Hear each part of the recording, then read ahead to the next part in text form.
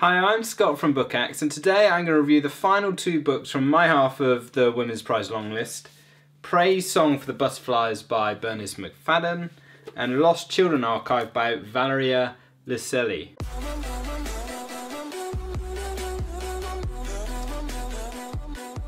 Over the past week or so, I, have read the, my final two books on my half of the Women's Prize long list, um, and I'm here to, to do reviews of them. So so the first one, and one that I actually spoil spoil my own review here, really enjoyed was Praise Song for the Butterflies by Bernice McFadden. So so this book follows the main protagonist, Abeo Kata, who lives in West Africa, and she's at the beginning of the story. She's nine years old, and she's part of a, a well-to-do family, and uh, her father works for, for, for the government. But bad times befall the family, and it's no spoiler because it's written on the inside of the sleeve. Um, to, to, to overcome those bad times, her, her father, um, at the behest of his mother, grants um, Abeo to to a local religious shrine as as a gift, an offering to turn turn around the fortunes of of of her family, um, which whilst I still struggle to get why anyone would ever do that, it clearly is actually a thing. And actually, since since reading the book, I've googled quite a bit about the term. It's it's trokosi, which is this is a legit thing. And this is part of the reason why I actually found this book so so in a way chilling, but also really really good read. Was I didn't know anything about this, and it's very enlightening in in the fact that this offering of children to shrines. Um, essentially selling them into to, to a kind of slavery still goes on to this day. So so for that alone, the, this book was 100% worth worth my time reading it and and really did enlighten me. But but more than that, what I found about this story was it it's short, but it's got a very good plot. Um, it, it educates you a lot, as I, I've I've already said.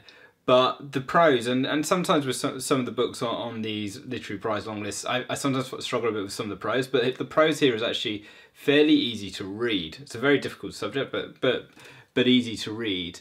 And the the other main benefit to me is I, I completely was rooting for the main central character, so fully was be, was behind her um, the whole way. So so in terms of the benefits, without going into too much detail and spoiling the book, I, I really thoroughly enjoyed it. I about I'd say 95% of the way through, I was like, wow, this book is going to be really great. It's going to be really tough to beat. And then there's one thing that let it down for me, and that's a, a chance meeting at the end, which then solved all all plot issues and everything like that. Fell nicely into place after one coincidence. And I just was there. I, I, I can't remember the phrase, but I think there's something around you can have coincidences at the beginning of a story to start it off, but you can't have them to tidy up the story at the end. Um, and that does it, which I think, bearing in mind it's a literary prize, it, it may may hold it back in the later rounds. But but for me, I thoroughly enjoyed this story, um, and yeah, wouldn't recommend couldn't couldn't recommend it anymore. And and the final book on the long list that I read was Lost Children Archive by Valeria Luiselli, and this is a story around based around a family, um, two adults surprisingly, and two children. Both both children are sort of the the step brother and sister. Um, the daughter belongs to the mother and the boy belongs to, to the father. And we actually never find out their names. It's it's a trend that I've seen in, it's definitely something Milkman does as well. Um, one of the other books on the long list in the, the Man Booker Prize winner, where, where they don't name the characters, which is uh, sometimes a little a little odd. And I did find it a bit strange in this book.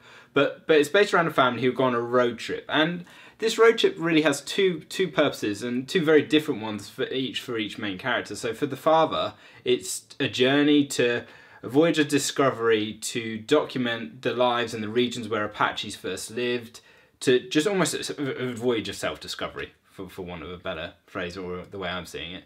And for the mother, it's actually on a journey down towards the border, just just happened to be going that way. She she got involved in the plight of two two children who based or originally from Central America who were trying to be smuggled across the border to, to come up and meet their mother who was based in New York. But they get detained at the border and sort of the legal ramifications of that of them potentially being deported or whether they actually get to, to go through to see their mother. So so so that's the part of the journey and on this journey they take their kids with them and it's sort of it's it's a story that really follows the the lives and really looks at the relationship both between the two parents the the impact that their relationship has on on the two stepchildren, but also. As I said, I, I think it is just more of a voyage of self-discovery, um, borderline. I, I wouldn't say midlife crisis, but it is this whole journey of using very topical themes, and obviously the whole sort of children being detained at borders is very topical at, the, at this moment in time. Um, so so it's trying to cram all of these things in. For me, it didn't quite work. I think that could potentially be a, lot to do with my taste in books. The, the plot is quite very slow moving. A lot of the prose is very meandering and it goes off on massive tangents. And I just I just couldn't buy in or like really either of the characters, which, it, as with all things in um, books, down to personal taste. Um, I, I just didn't really see anything in common, especially with the father. I just I just couldn't buy anyone going on this journey that he's uprooted his family to go on to, to go and document and record sounds of, of this journey into sort of down into Arizona. So I just didn't buy it. It was long.